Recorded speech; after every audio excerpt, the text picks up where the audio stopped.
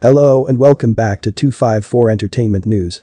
Please, like, share and subscribe to our channel. We will really appreciate that. So I happen to be an old school guy and that mean when Khaligraph Jones was starting his rap career or rather starting getting recognition on this rap thing back in 2011. I was around and I remember the hate and level of negative criticism that this nigga was getting from old school blood like me.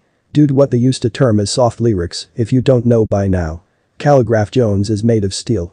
He absorbed all that hate and still continued to do his thing and ended up being the biggest rapper to ever hold a mic in 254 rap scene. Khaligraph Jones' persistent paid off and now he is back to give back to the society on this initiative he started of supporting rappers in Kenya by donating 500,000 Kenya shillings to the music industry. A betting site known as OdiBet also chipped in by dropping a whooping 4,500,000 check on Khaligraph Jones' initiative.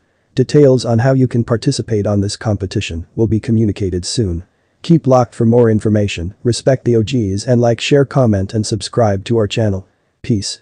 Also if you would like to partner with us please send us an email on entertainmentnews254 at gmail.com.